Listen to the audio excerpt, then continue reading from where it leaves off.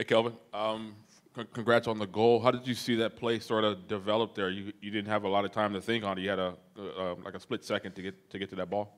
Yeah, uh, I don't remember actually how the play went. I just know Tyler got on the ball, I believe. He put a cross in, and I was already in front of the defender, and luckily the goalkeeper made a mistake, and I was there to basically tap it in. Did you have a, have a view of the handball they called on Joveljic at the end of the game there? I've seen the video. I don't think it was a handball, but that's just my opinion. We're humans. I believe um, that it was a goal, a clean goal, but uh, every, somebody else had to make the decision, and in this case, it was against us. Hey, Kelvin, uh, thanks for talking for, with us. Appreciate it. Um, you seem to get forward a little more today. Um, whether whether or not maybe that was Mark's uh, cover on the backside there, but you were involved, I think, in a couple of those different goals, uh, even some of the ones that didn't count. Um, so uh, was that sort of a, a direction from Greg, or was it more about what Vancouver was letting you letting you have? Yeah, it's basically what uh, the, the spaces that open up in the game. Um, I was actually playing a little bit more control with next to Jalen and uh, Martin, but sometimes the opportunities are there.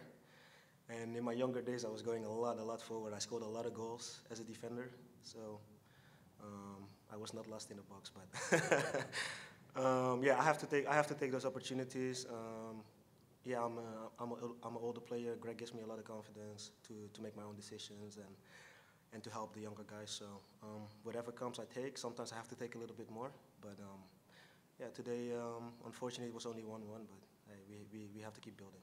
Is that a veteran move? There is the fact that you now have to sort of gauge or leave some gas in the tank for the for the end of the game in order to get forward and get back.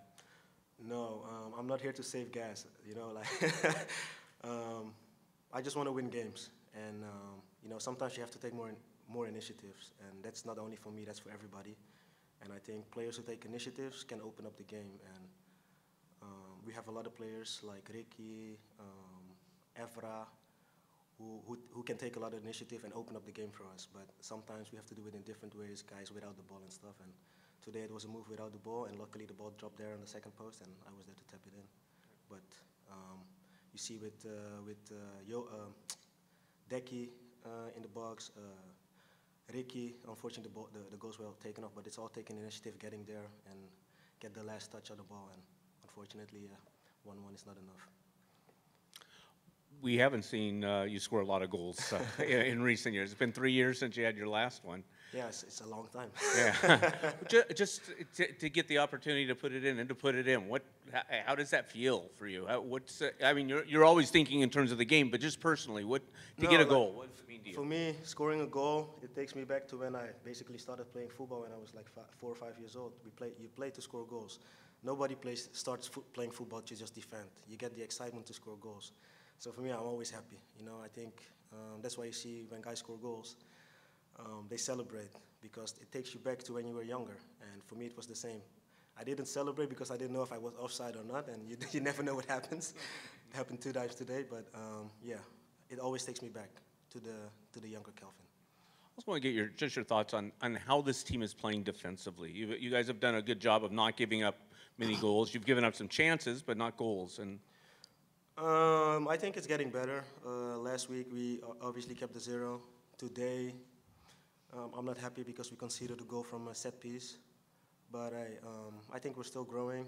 We still have to do a lot better because best defense is when you have the ball. And we just lose the ball sometimes unnecessary, and that puts a lot of pressure on us as a, as a whole. So we need to we need to clean that up. Any others? Thank you for your time, Calvin. Thank you guys. Have a good weekend.